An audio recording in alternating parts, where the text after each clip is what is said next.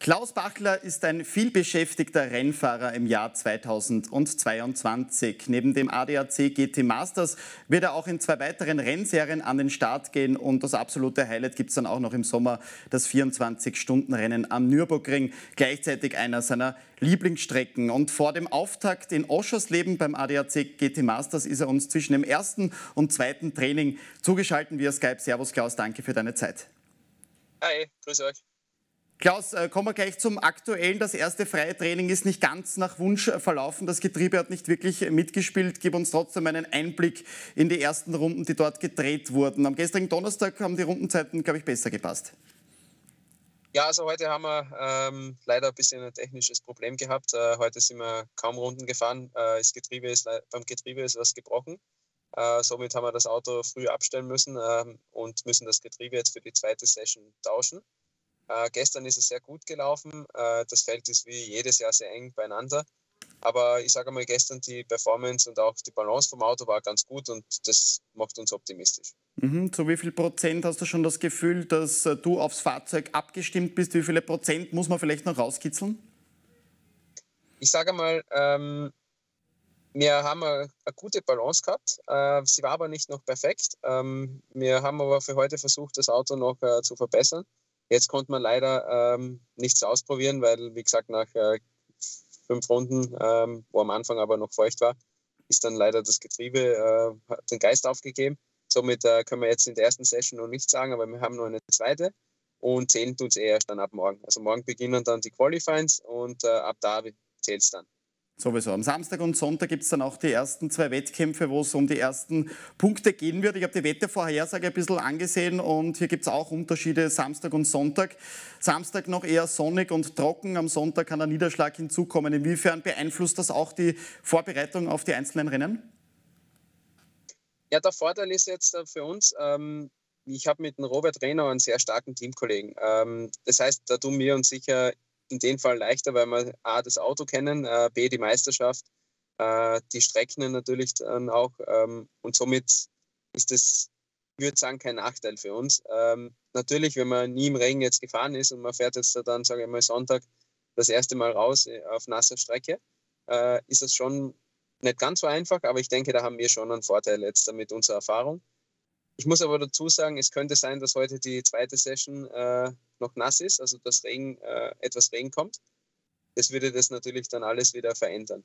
Hm. Mir persönlich wäre lieber heute, bleibt es trocken, weil wir unser Setup im Trockenen noch äh, austesten wollen, was wir in der ersten Session machen wollten. Aber am Ende, ähm, so wie es ist, so ist es. Du hast Robert Rennauer schon angesprochen, dein Partner für die diesjährige Saison, ein langjähriger Freund, gleichzeitig auch ein sehr erfolgreicher Rennfahrer, der vor allem 2018 die ADAC GT Master Serie für sich entscheiden konnte. Das heißt, die Trauben hängen höher als sonst. Was ist so das ambitionierte Ziel? Naja, klar, mit, ich sage mal, mit unserer, äh, oder die Konstellation, was wir haben, also ich mit Robert zusammen, das ist natürlich äh, für mich schon richtig cool. Ähm, bin auch froh darüber, dass ich einen sehr starken Teamkollegen an meiner Seite habe. Äh, das Team ist jetzt neu dieses Jahr in der Meisterschaft, aber wir haben halt versucht, viele ähm, sehr gute Leute mit an Bord zu bekommen. Ähm, natürlich muss man jetzt schauen, also es, man muss sich zusammenleben einmal. man muss schauen, dass man im Prinzip fehlerfrei bleibt, so wie heute natürlich der, das der Defekt am Getriebe äh, hat uns ein bisschen zurückgeworfen. Aber wie gesagt, der Vorteil ist, äh, wir kennen die Meisterschaft, wir kennen das Auto. Äh, wir fahren viele Rennen jedes Jahr. Das heißt, äh, das ist in unserem Fall jetzt weniger problematisch, denke ich mal, äh, als jetzt zum Beispiel bei den äh, jungen Nachwuchsfahrern, die was eine Meisterschaft in Anführungsstrichen fahren. Mhm. Jetzt muss man vielleicht die Zuschauer darüber aufklären, in welchem Rennstall du dich befindest. Geleitet wird dieser neu gegründete Rennstall von Iris Dor, die sich abgekapselt hat und einen großen Teil des Teams aber auch mitgenommen hat. In einem Artikel konnte man nachlesen, dass äh, durchaus Know-how vorhanden ist, aber man möchte auch kreative Lösungen in verschiedensten Bereichen finden. Äh, erzähl mal, wie haben sich die ersten Wochen, Monate in diesem Team angefühlt? Bist du schon zu Hause? Bist du schon dort angekommen? Ja, also angekommen bin ich schon. Also natürlich, äh, die, die Leute sind sehr nett. Ähm, aber man muss halt dazu sagen, also die Meisterschaft ADC GT Masters, also das sind äh, wie, äh, beziehungsweise das ist eine der stärksten GT3-Meisterschaften auf der Welt, was es gibt. ähm, und das schon seit Jahren. Und da ist natürlich die Konkurrenz, äh, die schläft auch nicht. Das sind äh, extrem starke Fahrer hier, viele Werksfahrer, viele äh, Top-Teams. Und natürlich, äh, da zählt jedes Hundertstel, jedes Zehntel. Äh, und wenn man da, sage ich mal, wenn man ein Zehntel nicht ausschöpft, das kann gleich mal einen Unterschied machen, dass man zehn Plätze weiter hinten startet. Mhm. Jetzt hat äh, vor allem Iris Store auch den Kommunikationsweg in einem Leitartikel immer wieder hervorgehoben, dass sie vor allem möchte, dass Fahrer und Sponsoren durch den Auftritt auf Social Media Kanälen äh, quasi äh, profitieren. Inwiefern hat sich das bei dir schon geäußert? Wurdest du damit schon konfrontiert oder ist das mal so eine Ansage, die sich vielleicht in den nächsten Monaten erst äußert? Ja, sie, sie bemühen sich schon sehr, muss man sagen. Äh, sie Natürlich ist jetzt alles neu, äh, aber sie bemühen sich. Ähm, sie machen auch sehr viel. Ich denke aber, dass das in den nächsten Monaten noch deutlich mehr werden wird. Mhm. Jetzt äh, haben wir eine Saison mit äh, sieben Rennwochenenden. Äh, wenn man so ein bisschen in die Glaskugel blickt, mit welchem Gesamtergebnis wärst du persönlich oder dein Teamkollege zufrieden? Wo wollt ihr euch in etwa einrennen? Also mein Ziel ist ganz klar, ich äh, fahre Rennen, ich will weil ich die Meisterschaft gewinnen will. Das ist ganz klar. Äh, nur man muss halt auch äh, jetzt schauen, wie das alles läuft. Äh, jetzt haben wir das erste Wochenende. Ähm, am Ende des Tages wird das, die Saison nicht beim ersten Wochenende entschieden.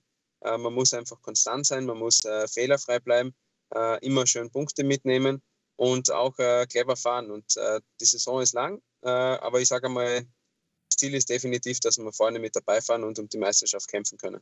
Stichwort Zielsetzung. Du persönlich fühlst dich, glaube ich, am Red Bull Ring, übrigens die zweite Station im Rennkalender des ADAC GT Masters, eigentlich pudelwohl mehrfach am Podest gestanden, ganz oben allerdings noch nie. Äh, wächst da vielleicht schon ein innerlicher Druck heran? Wie wichtig wäre es für dich, vor allem in deiner eigenen Heimat als Steirer, ganz oben zu stehen?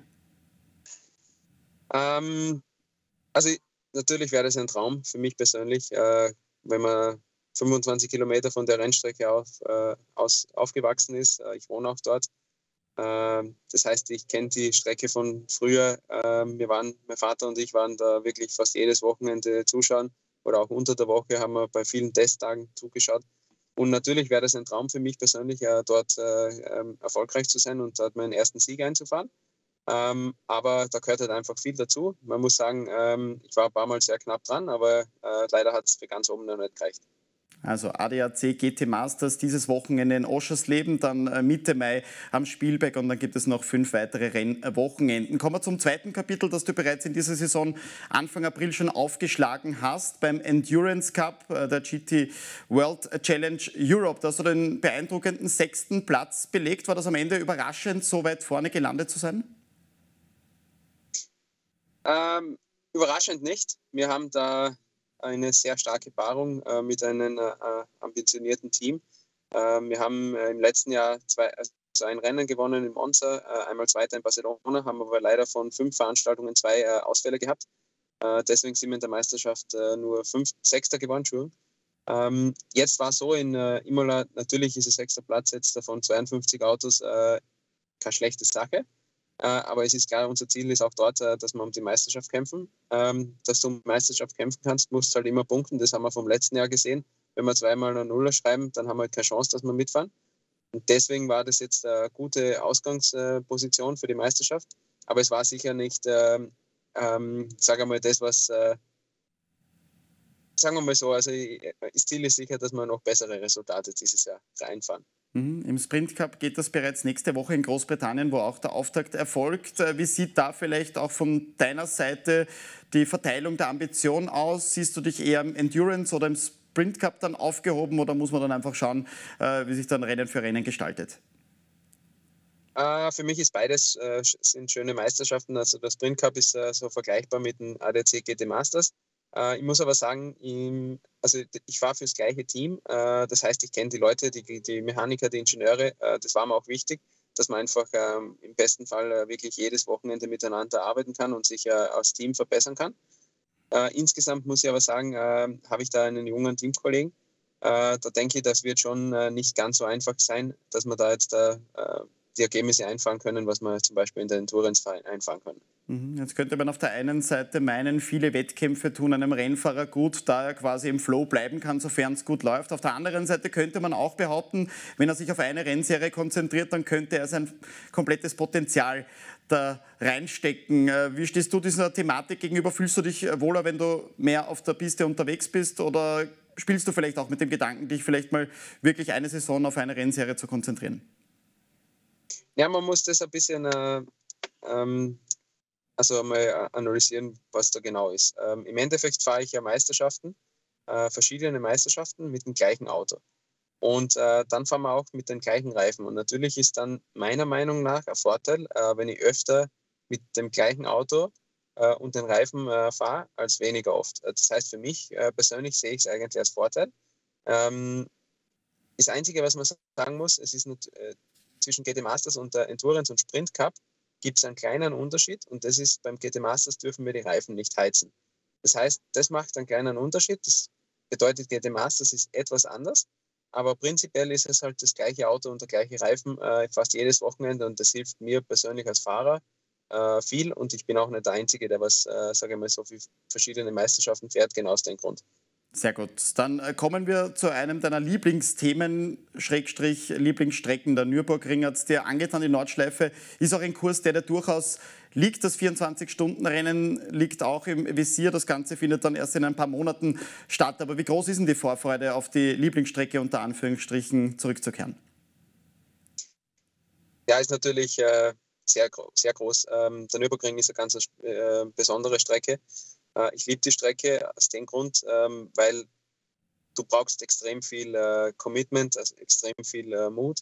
Du bist so extrem schnell dort unterwegs und der kleinste Fehler also kann entscheiden, dass das Auto einen Totalschaden hat und im besten Fall hoffentlich dir als Fahrer nichts passiert.